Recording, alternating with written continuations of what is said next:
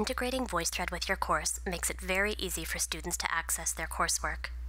All they have to do is sign into their accounts and click on a VoiceThread link that you have already created for them. This tutorial will go over how to create and set up that link. After you've added a VoiceThread link to your course, just click on it to see the setup options.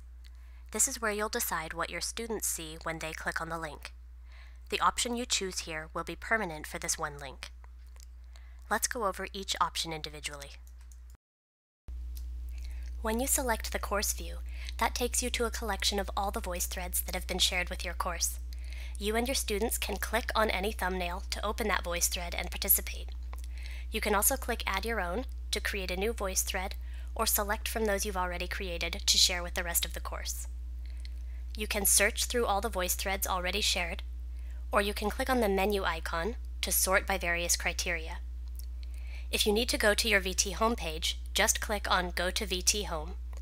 And at the end of a semester or academic session, you can click on Disable Course to turn off the course for your students. When you select the VT Home option, this takes students to their own home pages, where they can see all of the voice threads that have been shared with them or that they have created. In addition, they can click on the sidebar icon to see all of their courses in VoiceThread and they can click on any one course to see the collection of VoiceThreads shared just with that course. When you select the individual VT option, that allows you to point students to a specific VoiceThread. This is great for using a VoiceThread that you've already created as a conversation space.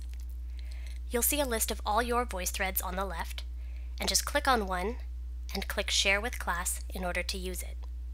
But if you have not yet created the voice thread you'd like to use, click Create New VoiceThread at the top.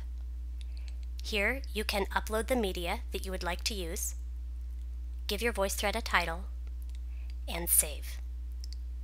Once your media has uploaded, you can click Comment at the top of the page to record some comments. Just close out of this when you're done, click on Share with Class, and you're done setting up your link. Students will be taken directly to this voice thread when they click on the link in your course. And that's all you need to know about using VoiceThread in your courses. Now that you're an expert, go give it a try with your students and see how you can make your courses better with VoiceThread.